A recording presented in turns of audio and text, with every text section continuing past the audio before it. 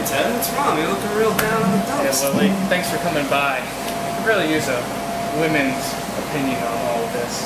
Yeah, you know, I talked to talked to Marshall and Barney, and they uh, told me you're really perplexed. What's uh, what's going on? Yeah, I don't, I don't know, Lily. I mean, I want to be ethical, but at the same time, I don't want to pass up an opportunity like this. Because what if it doesn't come around again?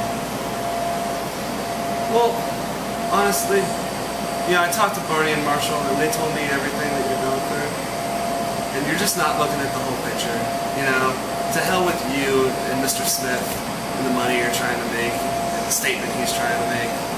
You got a much bigger responsibility to, you know, the people you're going to be employing to work on this, or, uh, you know, if they do get it built, people that are going to be working inside the building and the tenants and, uh, you know, their families and, you know, your reputation alone. It's not just about you and Mr. Smith.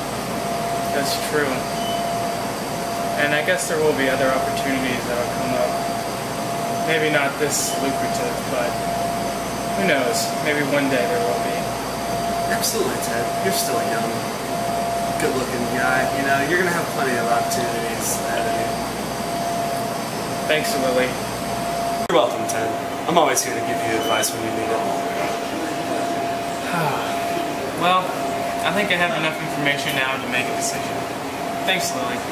Oh, and by the way, you look exceptionally pretty. Oh, Ted. You should.